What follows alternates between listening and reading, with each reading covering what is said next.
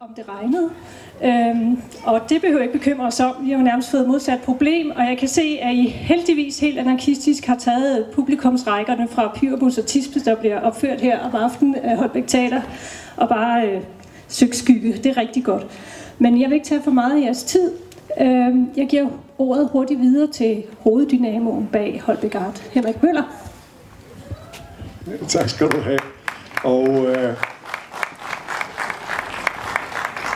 i første omgang vil jeg bare introducere øh, de andre, men jeg vil også starte med at sige tusind tak, fordi I vil rumme os i disse utrolig dejlige og smukke omgivelser. Og øh, jamen, det kan ikke være bedre. Sidste gang, der frygtede vi regnen, og den her gang, der har vores ven deroppe valgt at lade solen skinne på os. Hvilket luksusproblem, er det ikke godt? Vi er tre, der har bevilget os selv ret til at sige noget i dag. Og øh, det er først Søren Gersgaard, vores borgmester, og så bagefter vil Dina Vester Fejlberg, vores kurator, sige noget. Og så får jeg lov som rosin i pølseenden og sige noget. Og så skal vi på en dejlig rundtur.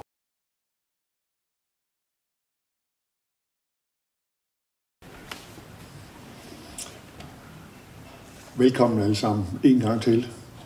Og tusind tak, fordi I har lyst til at komme her i dag og dele Holbæk Arts glæde med alle de nye værker. Jeg vil lige starte med at sige nogle ord på engelsk.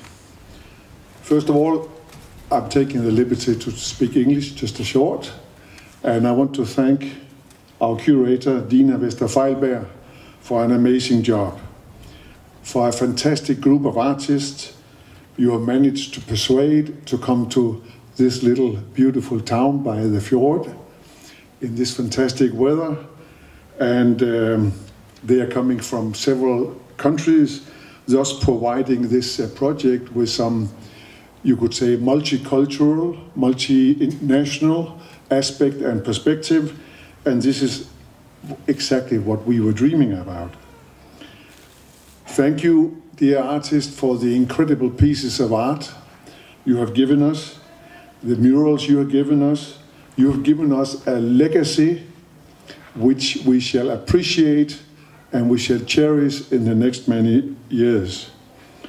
You have shown a dedication during your working process, a dedication that we love, and we are very, very proud of the final results. I know I have not always been easy to work with. I put some pressure on some of you now and then. I beg for forgiveness. But you know, when you are sitting on everything and you need to have a deadline, you get nervous.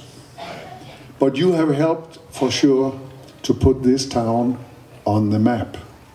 And that's where we would like to be known. The National Danish Art Foundation, it also called Statens Kunstfond, has been generous and supported us for the last two, uh, four years. But I have to say that we feel that maybe the elite world of art in Denmark have yet to recognize us. I sometimes think, using an analogy from Hans Christian Andersen, that we are the ugly duckling out there. But I want to change that. We are definitely no ugly duckling here by the waterfront. We are the most beautiful swan among swans, pure white, and we have the right to keep our neck high and proud for what we have done. And you, artists, you have succeeded in thrilling and pleasing the citizens of Holbeck and its visitors for the next many years. And that's what we hope for, and that's what we're done for. So it's been a pure privilege to work with you. Now back to Danish. Til vores mange sponsorer og murejere. Uden jer, ingen Holbæk Art. Super. I skal have en kæmpe ros for jeres opbakning. Og I skal vide, at det I gør, det er, at I investerer. I investerer i noget vedvarende. Det er så vigtigt, at I forstår, hvad det er, vi gerne vil. Det er vores mål i Holbæk Art at sætte nogle blivende fodaftryk på vores mure øh, i de kommende år. Vi går ikke efter at lave midlertidige arrangementer, der, der forsvinder om en dag, eller om tre måneder, eller, eller ti måneder. Vi vil gerne efterlade noget, vi kan gå og nyde fremover. Det er et uhyre vigtigt tankesæt, og I skal også vide én ting mere. Alle de penge, vi samler ind, der går langt det meste. Det går til, at vi får vores kunstnere til byen. Det går til logistik, lifte og andre ting og sager. Og så går det en, en ganske lille del til PR og kommunikation. Der er ingen ansatte i Holbæk Art, der, der kan sidde med snablen nede i kassen og berige sig. Alle penge bliver brugt benhårdt på at skabe de værker, som vi i dag kan glæde os over. Så vi har stor øh, ros til Statens Kunstfond for deres øh, support af os. Og, øh, men ellers så skal I vide, at næsten 85 procent af alle midler, som vi har brugt, de kommer fra jer. De kommer herfra. Det er fandme godt gået, Holbæk. Skide godt. Flot.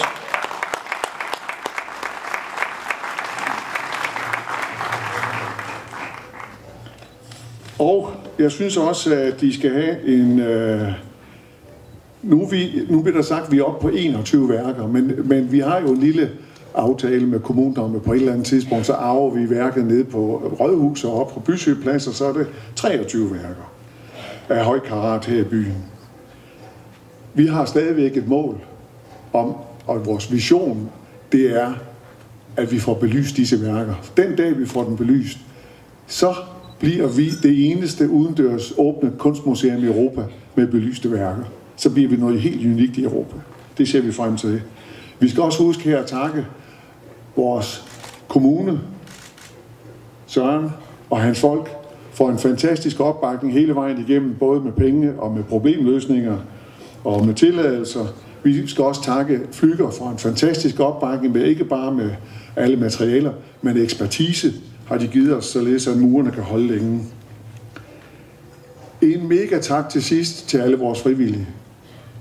Og nu kan jeg ligesom illustrere for jer, hvor dybt funderet vi er i Holbæk.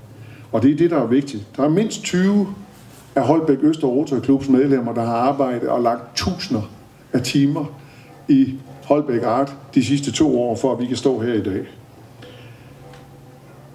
Vi har en stor tak til de andre frivillige, som for eksempel står for webside, for Facebook, som vi har kørende, og hvis ellers I går ind og linker jer ind, så vil I se, at der er en masse go derinde, der laver PR for os, der ordner praktiske gøremål med tilladelse til kommunen og forhandlinger med, med, med murer og så videre. Tusind tak til Æglæret, den forening, der hedder Æglærer, som har lånt os deres udstillingscenter en hel måned her i august, for at vi kunne styre alle vores aktiviteter. Vi udstiller dernede i øjeblikket værker af vores syv kunstnere, og hvis I har løse penge på lommen, så kan I sørge også købe nogle af dem. Tak til Holbæk Museum for altid for jeres opbakning. Vi takker også EUC med deres malerelever. Vi har haft 12-13 malerelever rundt og lave alt det forberedende arbejde på alle vores mure. De har lært at behandle en lift rigtigt. De har lært at lave forarbejder, og alle de her unge mennesker synes, det var skidespændende at være med til. Tak til fotoklubben ISO 4300. Formanden han står lige der. De har haft en helt flok af professionelle fotografer til at følge os gennem de sidste 14 dage og dokumentere alle processerne, som vores, vores dejlige malere har gennemført. Fantastisk, super. Jeg ved ikke, hvor Mogens han gemmer sig hen, men en stor tak skal han have personligt. Mogens, han står der i sin gule, fordi ikke bare hans almindelige arbejde for, for Holbæk Art, men for hans utrættelige mange omvisninger. Vi har jo haft mere end 1200 mennesker på rundtur øh, i Holbæk Art, og vi forventer at få mange flere i årene fremover. Og sidst men ikke mindst Kunsthøjskolen, hvor Michael står dernede og dækker for øjnene. Og en kæmpe tak for den indsats, fordi Michael og hans team, de bakker os op. Kunsthøjskolen bakker os op, både med overnatninger og med bespisning, og hvad der er endnu mere vigtigt, de er også hovedkraften i det, jeg lige vil omtale til sidst, det der hedder Young Artist. I må ikke glemme, at Holbæk Art 2016 slutter ikke i dag med den rundvisning. Om tre uger foregår der ude på Kunsthøjskolen det, der hedder Young Artist, hvor vi inviterer børn og unge fra hele Vestjylland i alderen 6-11, 12-15, 16-20 til at deltage i en, en, enten en tegnekonkurrence, eller en malekonkurrence, eller en leg, hvor de kan lave figurer med det, der hedder plus-plus-brækker. Og de her, der ikke kender plus plus, har I børn eller børnebørn, skynd jer at købe nogle. Det er et fantastisk produkt. Det er rigtig pædagogisk legetøj.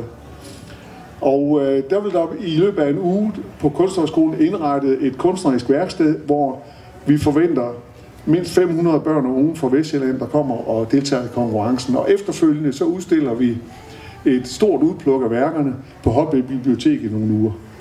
Det er en del af Holbæk Arts DNA, fordi vi vil gerne formidle vores kunst til, de, til børn og unge, således at det efterhånden kommer ud i skoleklasserne, så man kan skrive stil om Holbæk Art, så man kan lave øh, tegne og, og, og kreative øh, opgaver omkring Holbæk Art. Vi skal, fordi det er jo ikke børn og unge, vi ser på museerne i dag. Men vi har skabt et museum i det åbne rum, hvor de ikke kan undgå at møde os. Som jeg sagde i min engelske del af talen, vi er vokset os, tror jeg, fra en i nogens øjne, ugly duckling, en grim ælling, til en smuk svane. Det kan vi godt tillade os at sige i dag. Og vi kommer tilbage i 2018, kan I regne med, med en ny runde Holbæk Art. Og det vil vi kæmpe for at nå til også. Nu vil jeg slutte med at ønske jer en rigtig dejlig dag, og jeg vil ønske jer tillykke med alle de værker, I nu kan få glæde af i årene fremad. Og så håber jeg, I vil tage en rundtur med Dina, og vi skal prøve at se, om vi kan få teknikken til at fungere, når vi går rundt, Dina, så de også kan høre, hvad du siger. Men det går nok. Tak skal I have.